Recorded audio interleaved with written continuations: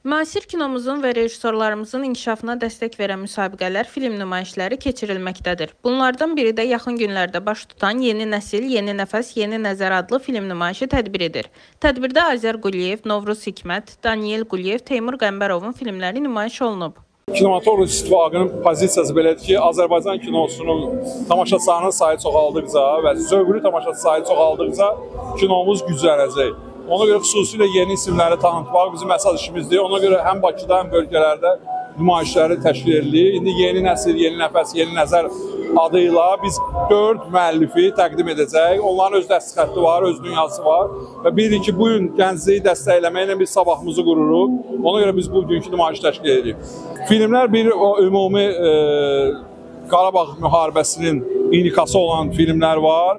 Bundan başqa şəxsiyyət və icma arasında konflikt əsas olmuş e, film də var və bu yəni yeni nəslin nümayəndələrinin, gənc insanların e, yaşadığı sarsıntılarla bağlı olan filmlərdir. İkinci Planetin Qırmızı Rəngi filmin ə, baş prodüseriyəm. Ə, Film 2020-ci ildə Mədəniyyət Nazirliyinin təşkil olduğu Böyük Qayıdış layihəsi çərçivəsində qalib gəlmişdi. Film 44 günlük müharibədəndir. Ə, Müharibənin fonunda olan bir hekayə.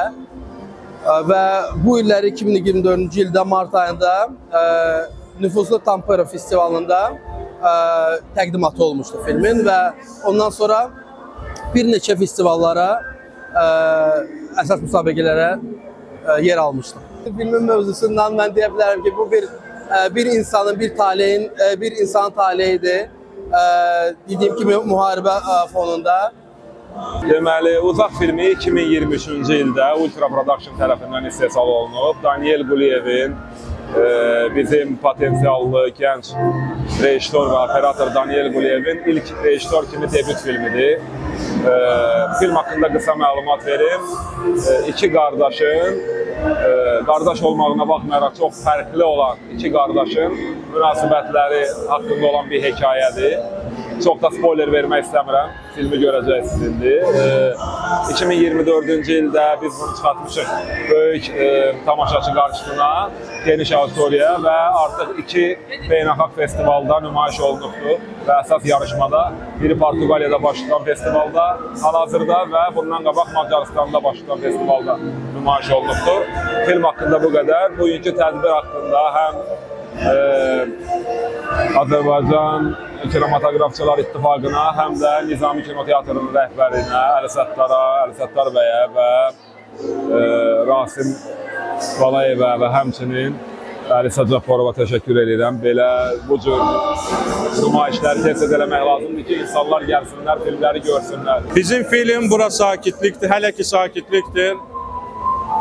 Ukraynada müharibənin mart ayında çəkdik. Yəni biz birinci insanlardan olduq ki, çalışdıq bir ancaq təmiz dokumental yox, bədii də film çəkək və belə deyək, yarı bədii, yarı dokumental bir film alındı.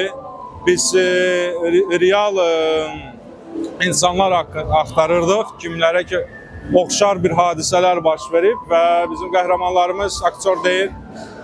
Və film nədən bəhs edir? Müharibənin birinci aylarından indi bu film tam başqa cürə çəkilərdi, tam başqa cürə olardı. Bu sırf birinci ayların refleksiyasına bəxş edir. Mən ümumiyyətlə Azərbaycanda yaşamıram, indi qismət elə belə gətirib ki, mən bir-iki ay buradayam və elə bir imkan var ki, öz doğma şəhərimdə, doğma insanlarımla elədiyim işlərdən bölüşüm, söhbətləşək və reaksiyalar mənə maraqlıdır əlbəttə.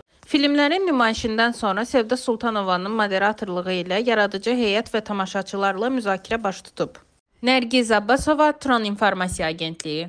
Kim sen orada aç kapını Aç kapını gelip seni öldüreyim Aç kapını gelip seni öldüreyim